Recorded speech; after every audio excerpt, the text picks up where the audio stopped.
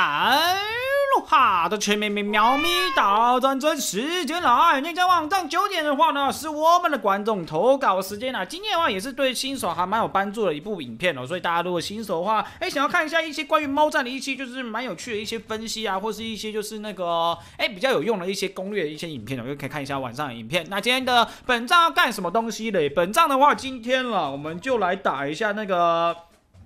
七月强袭啊，因为前面一段时间的话太多了一些活动，因为七周年的话基本上七月一号，基本上那段时间就开始一直冒出东西来嘛，所以就拍拍拍拍拍拍不完，马上，所以这边的话我们就来了，好不好？让大家看一下，也顺便提醒大家，好不好？今天录影片的时候已经是七月十号了，好不好？那七月初的这个强袭关卡记得打啊，因为大家大家看到这部影片的话，你在还剩四天，如果没有拿到我们这边的这个白金的这个碎片的话，就还蛮可惜的哦，所以记得一定要来打一下，好不好？这个我们的七月强袭。那来看一下今天的七月详情，这一次是什么？因为是夏天，未取得奖励，那我们就来看一下哦。不过它这边有这个初级条件限制，好像每一次都是初级十只角色了，好不好？所以我们就来跨买几嘞，跨买几嘞哈！来来来来来，你就用这套队伍好了，随便打一打。来，因为是夏天，LV One，Go Go Go！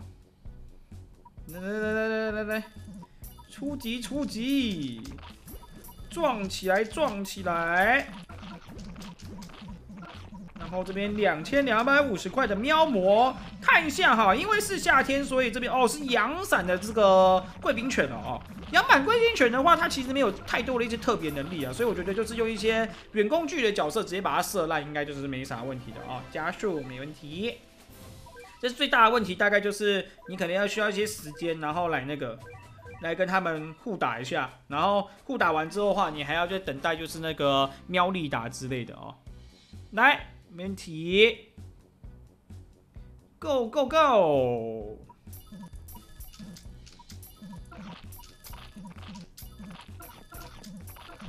走起走起，然后三千多，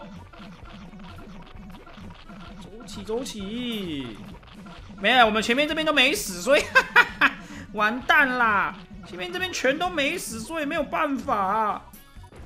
完蛋完蛋完蛋完蛋完蛋！完蛋完蛋完蛋完蛋！没有没有，来四千五百，走起走起。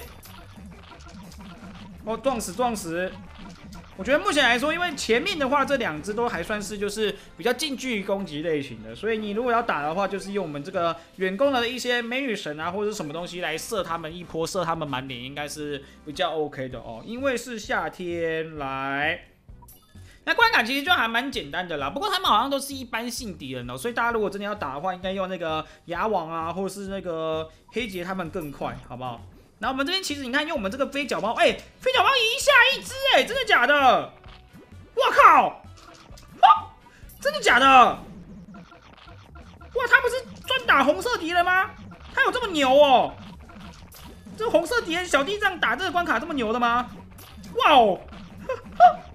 那难怪大家这么推他呢，真的是没有没有原，就是不是没有原因的，你知道吗？真的蛮省的。你看我们帮他加个盾牌，应该就还蛮蛮厉害的。帮家的盾牌，直接倒这个沙溢猫出去，直接打烂别人呢。有没有？你看，直接把那个 把那个 阳伞的直接弄爆了耶！哎，现在 LV 三了耶，其实也没有说到很弱很弱，而且刚大家有没有看到，就是我们这边打每一只异星敌人，直接轰烂，太神了，太神了，太神了，太神了哈哈！Go go go go go！嘣嘣嘣嘣嘣！太神啦！撞烂撞烂，因为是夏天，OK，可以耶。我不知道他这样可不可以撑到就是那个 LV 五。来，喵利达给他喝起来哦！喵利达开喝，补充一下。哎，这个飞脚猫好像真的很有料哎！飞脚猫超级有料，完全没问题。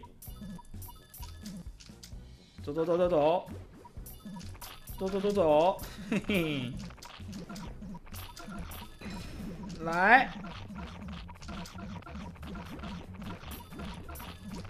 走起，走起，走起，走起，走起，走起！嘿嘿嘿飞脚猫真的很有料哎，它可以直接把那个异星战士轰死，到底怎么一回事？还是其实它也有对那个异星战战士的一些能力？我们待会去看一下好了，搞不好是有的。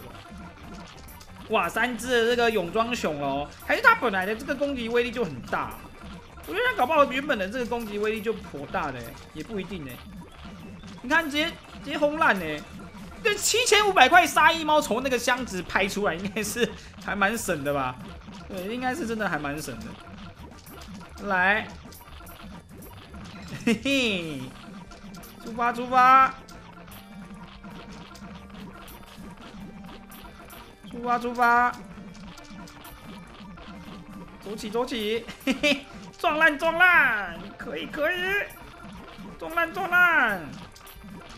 看一次送一只，这真很厉害，好不好？我觉得这是真厉害的，太神啦！完全没想到哎，因为之前的话，基本上我有感受到他打红色敌人是真的还蛮神的，好不好？他打红色敌人是真的蛮神的，但是没有想过原来他打这个异星敌人也是很强哎。来稍微看一下他的那个介绍好了，好不好？飞脚猫究竟何方神圣？来。哎，角色说明，给予红色敌人超大伤害啊！对啊，他打红色敌人的，然后范围远距离攻击，好不好？然后效果的话是超大的伤害，但是他是对红色敌人超大伤害，啊，为什么可以把异星敌人打成那样啊？你们刚刚看到吗？那异星敌人是直接直接被轰烂的，嘿嘿，太神了！你看，咻，嘿嘿嘿嘿嘿嘿，太神了！哈哈哈。撞烂撞烂，完全很 OK 哦，我觉得这只飞脚猫，难怪大家这么推，好不好？难怪会推爆，它根本就不止可以打红色敌人呢。小地藏好像，因为它这个攻击速度，我觉得应该是比小鸡蛋还要快蛮多的，而且走路速度是不是比小鸡蛋还快啊？大家可以来比较一下好了，好不好？